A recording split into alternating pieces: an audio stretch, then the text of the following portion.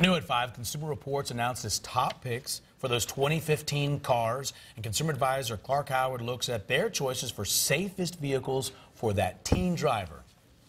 For those of us with teenagers at home, one of the most important choices we make is what kind of car we let our kids drive. Consumer Reports helps you navigate through the choices. They put all vehicles through a three part safety test.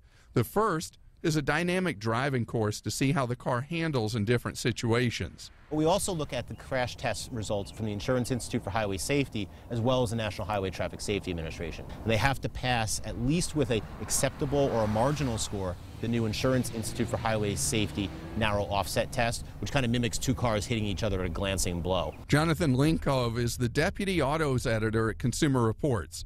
He says if the car fails any of those tests, they won't recommend it.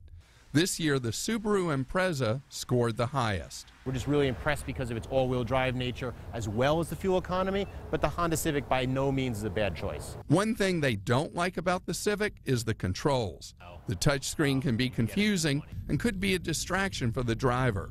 Linkov says the number one safety feature for any car is the driver.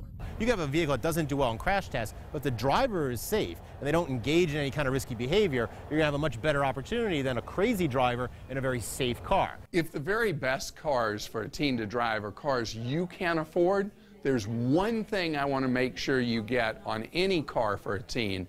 It's electronic stability control. And you can find cars that pretty old that have electronic stability control. It could mean the difference between life and death. I'm Clark Howard.